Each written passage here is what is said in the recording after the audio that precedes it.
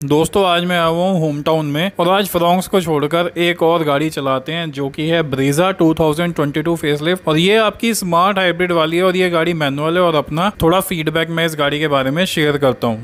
तो दोस्तों, फ़िलहाल मैं बैठा हूँ आपकी जो ब्रीज़ा आई थी 2022 में फेसलिफ्ट वाली ब्रीज़ा है ये और एक अच्छी बात इसकी ये है कि यहाँ पे मतलब वो जो कॉस्ट कटिंग आपको देखने को मिली थी, वो नहीं है। दिखाता हूँ मैं आपको।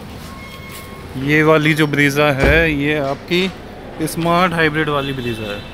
तो यहाँ पे आपको बैटरी देखने को मिल जाती है एक। और ये है गाड़ी मैनुअल, और इसके साथ साथ आप देख सकते हो, यहाँ पे भी स्मार्ट हाइब्रिड जो है वो लिखा हुआ है, और इस वाली जो सीट होती है, उसके नीचे एक छोटी सी बैटरी दी हुई होती है, ठीक है? तो ये जो गाड़ी है, ये मैनुअल है, आप देख सकते हो, आप तीनों लीवर आपके, और अभी चलते हैं, और फिर इसको चला के देखते हैं। कि फ्रोंक्स से जो है ब्रीज़ा ऑटोमेटिक पे आके सॉरी फ्रोंक्स ए से ब्रीज़ा मैनुअल जो है वो कैसी लगती है चलाने में? यार एक बात है, इसमें ना गाड़ी में, जैसे 1500 सीसी का इंजन है तो इसमें जो एसी है ना, वो बहुत ज़बरदस्त है। मतलब फ्रोंक्स का एसी खड़ी गाड़ी में ठंडा नहीं करता टाइम लेता है। लेकिन इसमें जो 1500 सीसी वाली गाड़ी में आपका जो एसी आता है ना, वो बहुत बढ़िया काम करता है। ये चीज़ इसमें बहुत अच्छी देखने को मिल जाती है। मतलब अगर आप खड़ी हुई गाड़ी में भी चलाओगे ना तो भी एसी बहुत अच्छा काम करता है। ठीक है? और जैसे ही इस गाड़ी में बैठता हूँ ना मैं तो मतलब ये गाड़ी होम टाउन में रहती है। तो इस गाड़ी में सबसे पहले बैठते ही ना एक ऊँचे ऊँचे बैठे होने की एक प्रॉपर जो एसयूवी वाली फीलिंग होती है ना, वो आने लग जाती है। बोनट इतना ज़बरदस्त विजिबल है। मतलब जो 2021 वाली ब्रीज़ा मेरे पास में थी उससे भी बढ़िया इसका बोनट विजिबल है। इसमें बोनट की हाइट जो है वो ज़्यादा कर दी थी इन्होंने। तो इससे मज़ा ही आ जाता है कि एकदम पूरा एसयूवी वाला फील आ जाता है। अब मेरे को फ्रॉन्क्स की याद आ रही है यहाँ पे भीड़ भाड़ में चलाने में, क्योंकि उसमें बिल्कुल एफर्टलेस ड्राइविंग होती है। अपना बस ब्रेक रिलीज़ करो और चलो। यहाँ पर आपको थोड़ी सी मेहनत करनी पड़ती है। थोड़ी सी नहीं, बहुत मेहनत करनी पड़ती है। ओके तो सस्पेंशन तो इस गाड़ी के बहुत बढ़िया हैं। मारुति ने काम किया है इस पर अच्छे से सस्पेंशन जो है अच्छी तरीके से ट्यून कर दिए हैं और बिल्कुल भी आपको महसूस नहीं होने देते किसी भी तरीके का कोई भी फीडबैक यार पता नहीं ये स्मार्ट हाइब्रिड इन्होंने क्यों हटाया हटाना नहीं चाहिए था इसको। लेकिन कॉस्ट कटिंग तो है भाई अब जिनको मिल रहा था उनके लिए अच्छा है। मैं कहता हूँ अगर दो किलोमीटर पर लीटर का भी फ़र्क पड़ रहा है उससे तो भी एक अच्छा खासा फ़र्क जो है वो हो गया है। तो नहीं हटाया जाना चाहिए था, बल्कि अगर देना ही नहीं था तो फिर कभी भी देना नहीं चाहिए था। अब आधे लोगों के पास में जो होगी, जिन लोगों ने ले ली है गाड़ी ऑलरेडी उनके पास में आपकी हो जाएगी स्मार्ट हाइब्रिड वाली और बाकियों के पास में हो जाएगी नॉन स्मार्ट हाइब्रिड वाली। लेफ़्ट से लेके चलते हैं आज।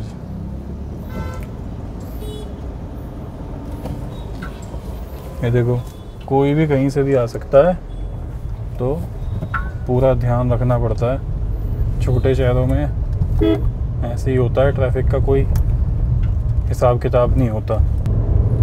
बहुत बढ़िया पुल है हर गाड़ी में अच्छा खासा जर्क मारती है और अगर पूरा एक्सलरेट करो तो बहुत बढ़िया इसका इंजन एकदम से बढ़िया फीडबैक दे रहा है। तीसरे गियर में गाड़ी चल रही है। मैंने दूसरा गियर जो है, पहले कहते थे कि मारुति का ढीला होता था, लेकिन अब वो सब बातें ख़त्म हो गई हैं। बहुत बढ़िया पुल जो है इसमें। भाई मैनुअल में ये तो है 1500 सीसी का इंजन ऊपर से मैनुअल गाड़ी अपने हिसाब से अगर चलाओ तो अच्छा खासा मतलब देखने को मिलता है फ़र्क। अच्छा बात एक पते की ये है कि दोनों गाड़ियाँ ग्यारह लाख रुपए की आती हैं और मैंने दोनों का पहले भी एक बार कंपैरिजन किया था कि दोनों में आपको ये वी एक्स आई मैनुअल और वो डेल्टा प्लस AMT दोनों लगभग ग्यारह लाख रुपए की पड़ जाती हैं। वो थोड़ी सी कम पड़ जाती है वो मेरे को पड़ी लगभग दस पचहत्तर की। और ये जो गाड़ी है ये पड़ी थी ग्यारह लाख बीस हज़ार रुपये की। तो ये थोड़ा सा फ़र्क है थोड़ा बीस पच्चीस तीस हज़ार रुपये का फ़र्क है। बट है दोनों का प्राइस ब्रैकेट एक जैसा। तो बहुत से लोग कंफ्यूज भी होते हैं कि भाई वो लें ये लें। अच्छा देखो माइलेज जो है वो फ्रॉन्क्स की बेटर है। ठीक है? और ग्राउंड क्लियरेंस ब्रीज़ा की बेटर है। कई दोनों के अपने फ़ायदे अपने नुकसान हैं। किसी का कुछ बेहतर है, किसी का कुछ बेहतर है। तो ऐसा नहीं है कि क्लियर विनर वाली चीज़ नहीं है। कुछ लोगों को जो चीज़ें चाहिए वो इसमें मिलेंगी और किसी को कुछ और चाहिए तो वो उसमें मिलेगा। जैसे माइलेज तो उसका बेटर है बॉडी रोल उसका बेटर है बॉडी रोल नहीं है उसमें। ऊँची गाड़ी ये है और ग्राउंड क्लियरेंस इसका बेहतर है अपराइट सिटिंग पोजीशन इसकी ज़्यादा अच्छी है। तो ये सब चीज़ें जो हैं इसमें बेहतर हैं। हाँ ई और मैनुअल का भी फ़र्क है। इसमें अगर ऑटोमेटिक लेंगे तो वो पड़ेगी आपकी लगभग तेरह लाख रुपए की, क्योंकि इसमें आता है टॉक कन्वर्टर और उसमें आता है ए और उसका टॉक कन्वर्टर तो वन लीटर टर्बो वाले इंजन के साथ में जीटा जो आता है वो चौदह लाख रुपए के आसपास का पड़ता है फ्रोंक्स का। गाड़ी चलाने में कैसी है? गाड़ी में मज़ा आ रहा है चलाने में, एकदम दमदार इंजन है और अच्छा खासा यहाँ पे फीडबैक ये दे रही है। देखो सेकंड गियर में भी जब मैं इसको पुल कर रहा हूँ तो ये निकल के भाग रही है। और ऐसा महसूस नहीं करा रही कि भाई मतलब नेचुरली एस्पिरेटेड इंजन है तो स्लो है, शांत है, कुछ भी ऐसा नहीं महसूस हो रहा।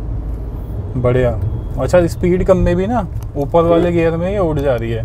अभी जैसे स्पीड इसकी नीचे चली गई थी, लगभग 20 के आसपास, तब भी मैंने सेकंड गियर में इसको उठाया।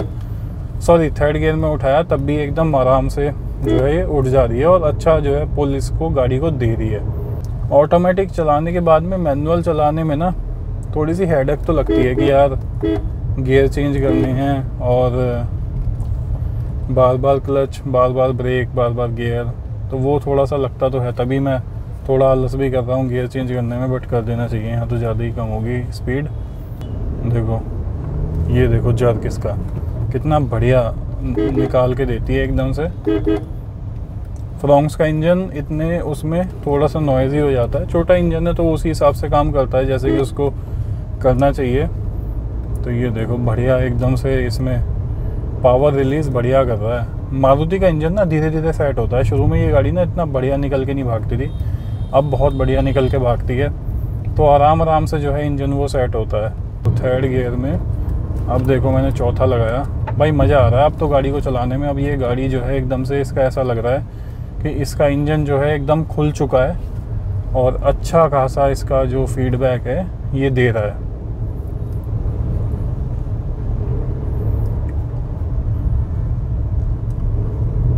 जो 2021 वाली ब्रीजा आती थी उसमें ना सस्पेंशन एकदम से मज़ेदार नहीं था। हालाँकि वो गाड़ी चलने में ना थोड़ी भारी लगती थी बॉडी लाइन से थोड़ी भारी लगती थी बट उसका सस्पेंशन ना फीडबैक देता था अंदर मतलब थोड़ा कह लो हल्का सस्पेंशन था उसका। लेकिन इसका जो सस्पेंशन है वो बहुत अच्छा दिया है इन्होंने। तो ये ज़रा भी महसूस नहीं होने देता अंदर ना कि क्या कुछ बड़े बड़े बम्स वगैरह कुछ भी हो ये आराम से उनको एब्जॉर्ब कर लेता है बिल्कुल ज़ीरो कर देता है। ठीक है तो मज़ा आता है इसको लगभग चलाने में और अभी देखो गाड़ी को मैंने लगा लिया है पाँचवें गियर में और एकदम मस्त होके भाग रही है ये। अभी थोड़ा सा हाईवे पे जाके भी इसको चला के देखेंगे और फिर मैं आपको बताऊँगा कि कैसा जो है इसका स्टेबिलिटी वगैरह का कैसा रहता है, क्या कुछ रहता है। अब देखो मैंने वहाँ पे ना मेरी स्पीड कम थी और मैंने चौथे गियर में उठाया गाड़ी को तो थोड़ा सा इसने टाइम लिया। वो ऑब्वियस है। टर्बो इंजन तो है नहीं कि एकदम से निकल के भग जाएगा। लेकिन हाँ इतना नहीं लिया कि मेरे को महसूस हो कि भाई स्लो पड़ रही है गाड़ी। अच्छा खासा पुल ये प्रोवाइड कर रही है। देखो, यहाँ पे थोड़ा सा भगा। थोड़ा सा मैंने लिया ना तो कॉर्नर्स वगैरह पे ना टर्न वगैरह पे सही रहती है गाड़ी एकदम से। इसका जो बॉडी का प्रपोर्शन है ना, वो बहुत सही है। मतलब इसकी जो बॉडी लाइन है ना, वो बहुत सही इन्होंने बिठाई है कि अगर इसको थोड़ा सा आप तेज़ चला भी रहे हो ना, थोड़ी सी आप इसमें ओवरटेकिंग वगैरह कर रहे हो तो गाड़ी सही रहती है, चिपक के रहती है एकदम से सड़क पे। हाईवे आ गया हाईवे पे लेते हैं और फिर मैं आपको दिखाता हूँ क्या कुछ रहता है।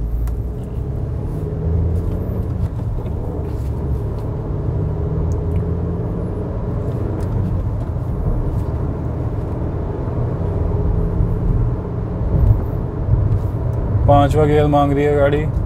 चलो, अब मैंने इसका दबा दिया है पंजा, ठीक है? अब देखते हैं कैसा कुछ रहता है। अस्सी की बीप आ चुकी है, ठीक है? और अब ये गाड़ी पहुँच गई है सौ पे।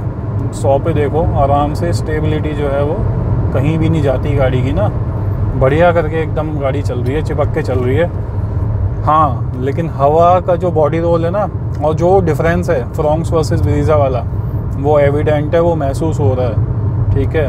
तो इतनी स्पीड पे उसमें कुछ पता नहीं लगता, लेकिन इसमें इतनी स्पीड पे थोड़ा ये महसूस तो होता है कि हाँ कुछ बड़ा, भारी, भरकम सा आप हवा को काटते हुए चल रहे हो। एसी बहुत बढ़िया काम कर रहा है एसी की तो कुछ वो ही नहीं है। एसी फ्रॉन्क से मतलब ये लगा लो, डेढ़ गुना बेहतर है फ्रॉन्क से इसका एसी और ये कुछ था मोटा मोटा फीडबैक मेरा इस गाड़ी के बारे में। ऐसे ही मैंने एक ड्राइव करी तो मैंने सोचा कि आप लोगों के साथ में शेयर करूँ कि कैसा इसका फीडबैक रहता है। और आ, कोई चीज़ हो मतलब मैंने ये गाड़ी भी मैं काफ़ी चलाता हूँ तो कोई भी आपके मन में डाउट हो आप इन दोनों गाड़ियों को कंपेयर कर रहे हो तो मेरे से पूछना कमेंट सेक्शन में मैं आपको बता दूँगा। हो सकता है कि मैंने वीडियो में ना बताया हो but I would know that because I I drive both these cars regularly तो ज़रूर आप बेशक पूछ सकते हो। हालाँकि ये this is not my primary car ये रहती है होम टाउन में। बट जब भी मैं आता हूँ घर पे तो ये गाड़ी ज़रूर चलाता हूँ। तो thank you so much for watching the video bye take care of yourself and remember always drive safe bye दोस्तों।